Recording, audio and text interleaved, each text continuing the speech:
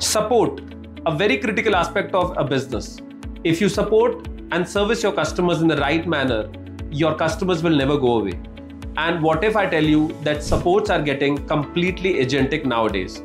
What do you mean by agentic? Agentic means AI agents and digital workers are helping to listen these complaints, classify and route in the right buckets, and then think to solve it at their end. And if it is not solved, then they actually put it into the human in the loop bucket to make sure that you get the answer at the right time if you are running these agents.